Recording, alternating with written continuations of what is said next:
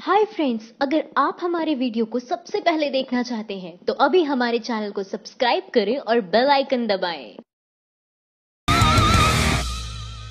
पत्रकार ने पूछा कि चार साल में पीएम मोदी ने क्यों नहीं की प्रेस कॉन्फ्रेंस अमित शाह बोले कि इसका जवाब आपको संबित पात्रा देंगे।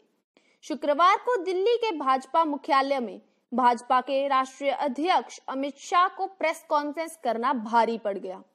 यहाँ एक पत्रकार ने पार्टी प्रमुख से प्रधानमंत्री मोदी द्वारा पिछले साढ़े चार साल में एक भी प्रेस कॉन्फ्रेंस ना करने पर सवाल उठा दिया।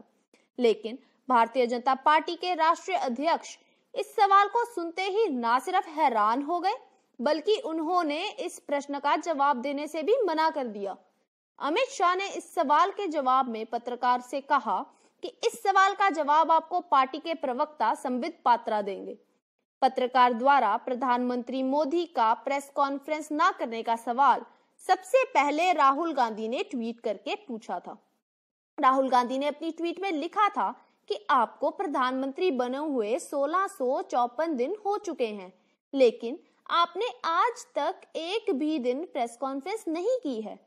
अपनी प्रेस कॉन्फ्रेंस में पत्रकार के सवाल पर जवाब ना देने पर कांग्रेस पार्टी ने इसकी निंदा की और कहा कि अमित शाह द्वारा पत्रकार को उसके प्रश्न का जवाब ना दिया जाना भारत के 132 करोड़ लोगों का अपमान है। आपको बता दें कि भाजपा की ओर से यह प्रेस कॉन्फ्रेंस पश्चिम बंगाल में ममता बनर्जी की सरकार द्वारा बीजेपी की रथ यात्रा को मंजूरी ना दिए जाने के खिलाफ आयोजित की गई थी। इस प्रेस कॉन्फ्रेंस में अमित शाह ने बंगाल में बीजेपी से ममता बनर्जी पर संविधान और कानून से खिलवाड़ का मुद्दा उठाया। अमित शाह ने कहा कि ममता बैनर्जी लोकतंत्र का गला घोट रही हैं।